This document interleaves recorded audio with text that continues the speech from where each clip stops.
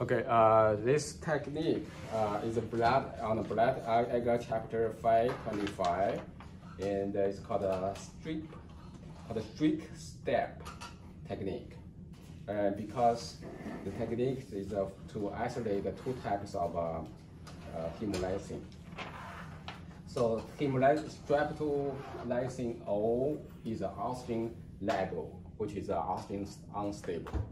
So that means the one bacteria grew with oxygen, and this type of toxin would be uh, would be uh, degraded, mean unstable.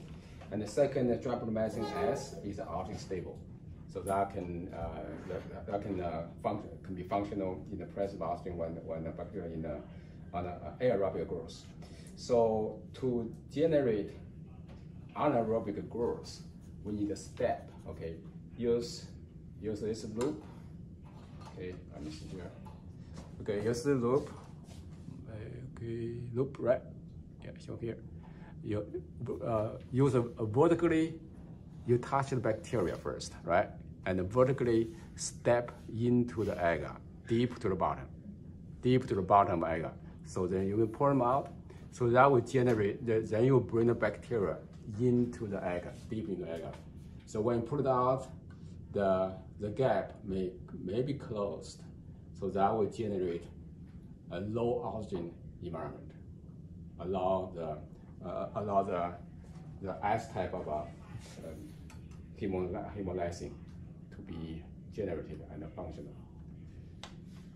So, uh, so in the end, I put them here, I forgot to say it, to say it. So in the end, you um,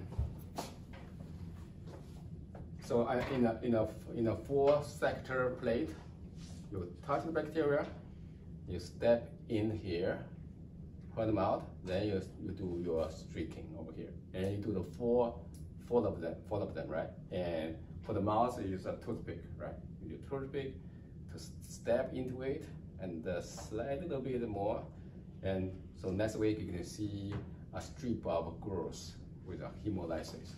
Or not. Yeah. And for this, you do the same thing. You you mix you make a strip, uh, step here, step here, then you do streaking. Make sense, anybody? Yeah. For MacConkey, you don't need to do that because this is for so a special type of um. Okay. Yeah. Sorry. Sorry for the missing this part.